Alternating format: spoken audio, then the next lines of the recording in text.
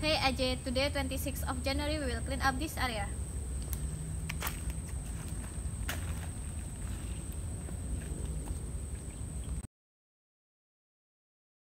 The clean up and we get 17 kilogram.